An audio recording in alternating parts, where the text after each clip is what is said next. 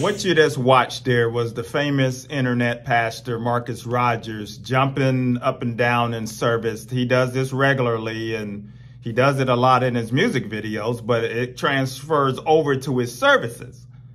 But the point I was showing you this is because I want to read something to you that he posted uh, a few days ago about what he did to a particular person that was visiting. Stay with me. Let me read, read it, and we'll talk.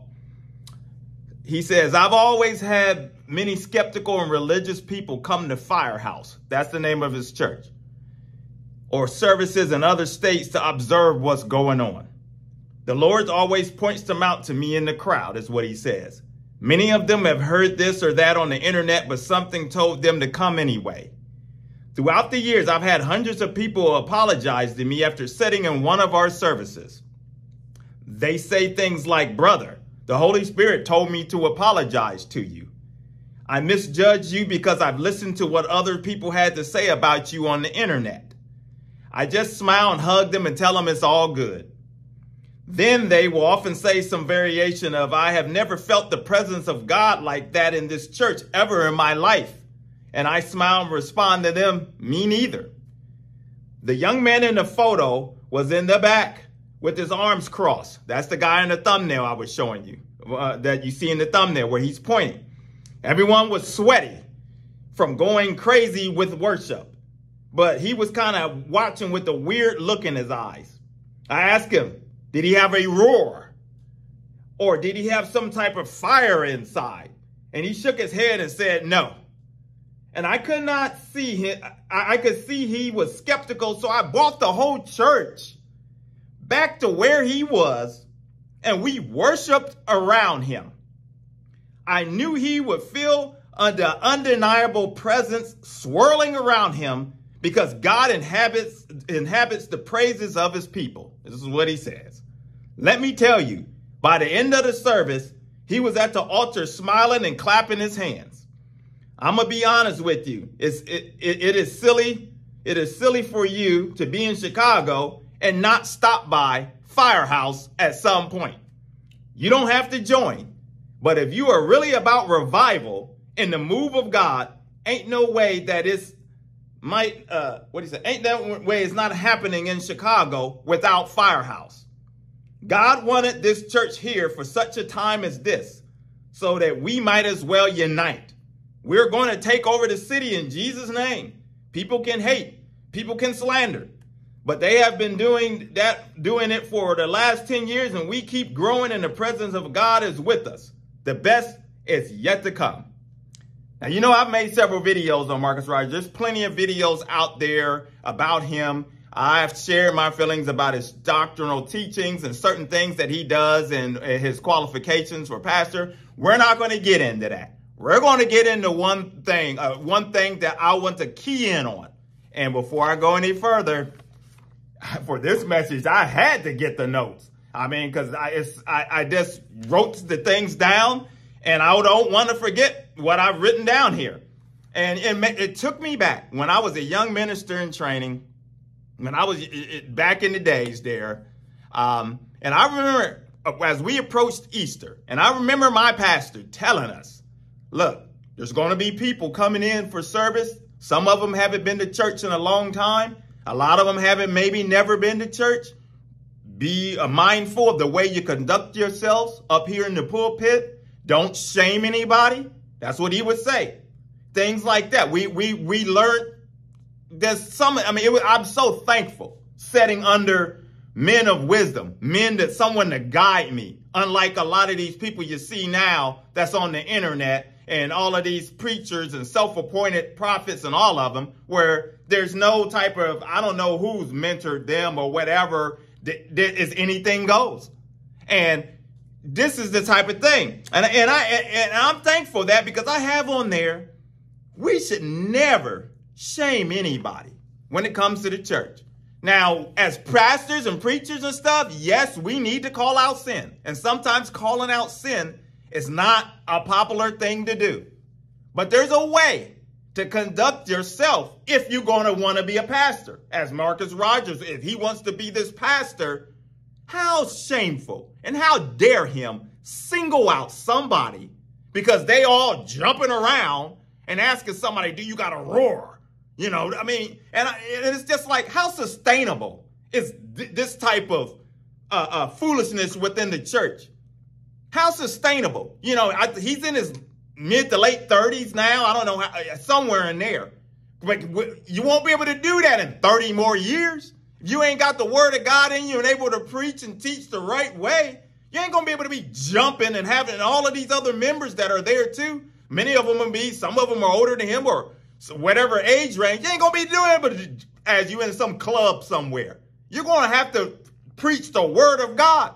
And you don't point somebody out to shame them because they're not worshiping the way that you think that they should worship. And I have on here, it's unfortunate because we should never shame someone as much as the way you know it used to be a time. Uh, uh, uh, some churches still, and, and it's uh, thank God it's loosened up as they come as you are, as far as the way you dress and things. Um, but you know, it used to be a time when uh, a lot of people uh, dressed up a lot more within church and stuff. But then they would look down on upon people that come into church not dressed up. Not you know, and these some of these folks that come in, they've never been to church. They don't have church clothes. I know when I got saved, I had hip hop clothes. I had the clothes of the streets. I came in. I mean, some of the stuff that I was wearing, and uh, immediately, um, no one ever singled me out or said anything. I, I am so thankful that my the church that I belong to did not do that. No one. They may have said something quietly, but no one ever made me feel uncomfortable. I come in with flashy stuff. I remember we came in one time, me and my buddy uh, came in, and this is uh, uh, it was New Year's Eve. We were ready to go party right after this New Year's Eve service. Go hit hit the club. And I remember this girl saying, "Y'all be careful. Y'all be careful. What y'all getting ready to do?" But the church was offering breakfast that after the New Year's Eve service. Me and my buddy got to talking with people, hanging out. Next thing you know, it's three in the morning. We never got to go out. See how the Lord works? But that was the growth after becoming saved, because I got saved in October of 1992, and then that was that New Year's Eve of 1993. See, but I was still a babe. I was learning, trying to understand what's going on. But we're never to shame someone with the way they dress. We don't shame somebody if they haven't been to church in a long time either. So uh, uh them types of people, because there's some people, maybe they, they, the church has left a bad taste in their mouth. And they decide that they want to show up maybe again. Maybe someone's dragged them out. Maybe, unfortunately, there's a funeral or something that's happened that gets them back in there. And as a leaders, as pastors, or anyone, as members, all of us, as Christians, we should never make no one feel ashamed that they uh, uh them that they didn't show it up where you been and, and shame them and call them out. We should never do them types of things. And then I have on here as I mentioned before, the way that someone worship. Everyone, just because someone's quiet or sitting there or whatever, don't mean they don't uh, that, that they don't love the Lord. I'm an introvert. I'm not one to jump up and and that's fine. You're fine if that's how you want to praise and raise your hands and and, and, and, really go. Hey, my I'm having all the joy inside. I may have tears. But I'm uh, forever thankful. I'm worshiping with inside. I may, I'm going to clap here and there, but I'm not one to just get all up and, and, and unfortunately for some of these people, it's a show. They want to show off. They want to show. So for him to do that, to bring the whole congregation back to where this guy was, surround him, what kind of crap is that? What kind of pastor does that? I mean that, that, that I mean that's that's uncalled for. You don't do that to people and stuff and, and, and, put them under this type of pressure. You know, yeah, you need to be acting like us because we're getting into it. We're sweaty. We're all worked up. We're fired up. What about you? Not everybody that comes see this is the thing. Not everyone that comes to church, they're not saved. I mean, that's the problem too. A lot of people that's these pastors and people within the, uh, uh, in the realm of society now that the church think that they just focus right on the flock, forgetting about the lost, forgetting that your doors should be open. People should be, you should be seeking and hoping that the lost will come through them doors. That or if you're discipling and teaching your members properly and things, and that they will bring others to the church so that, you, that they get there and then the word of God is sharper than any two-edged sword. The word of God will begin to work on that heart. The spirit will begin, Holy Spirit will begin to work on them and do the transformation. Who do we think we are? Surrounding people, pointing them out as if that we've got this magical power to turn people around to make them do what we want to do. That's shameful. That is shameful and it's a disgrace. And I'm going to call it for what it is. And I have on here these same types of pastors. Get ready. Get ready. These same types of pastors, because there's a group of pastors, and, and many of them are on the internet that they, they become famous. They all, some of them hang together. This is the thing. I tell you, they all, they all kind of group together, some of these folks. These are the same pastors that shamed people during the pandemic. They the same pastors that shame people during the pandemic. We ain't gonna get into all of that because that'll take a few more minutes to get into that. But we know the, the Greg Lockes of the world and, and, and many others shame people during the pandemic for various reasons.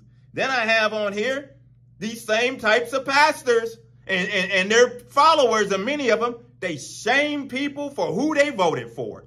So if you didn't vote for the particular person that they supported, then they shame you and don't want you in their church and don't want you to be bothered with them. What kind of stuff is that? What kind of pastor, leader does that? See, this is the kind of silliness, and you think that God's judgment ain't upon the church? This is the silliness that goes on. And then I have on here these same types of pastors or leaders or whoever, they the same ones that will shame you if you your family members or friends fall into sin.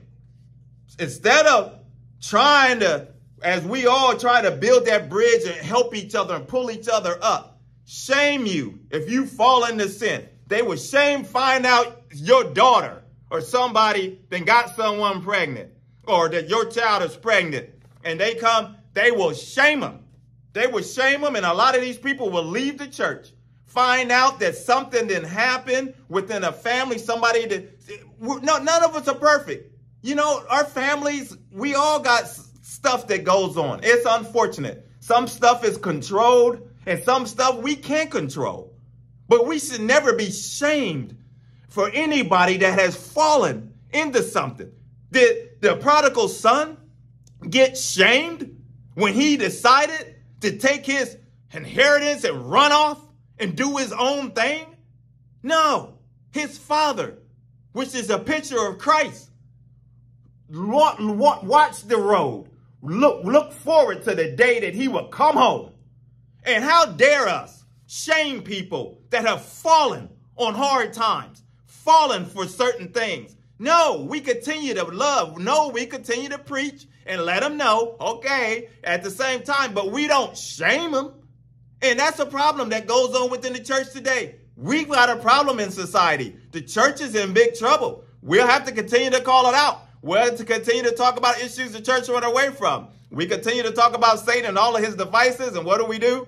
Punch him right up between the chops. Evangelism for God is the channel. If you're new, consider subscribing. Hit like coming along for the journey, because we're going to continue marching on. We don't want this. This shame thing is a problem. These people, they are arrogant. It's another, they're arrogant. The shame is a form of their, their self-righteousness is what it boils down to. They're prideful and they're self-righteous. And they have no place in the kingdom of God with that crap. We're going to call it out. So until the next video, take care. God bless.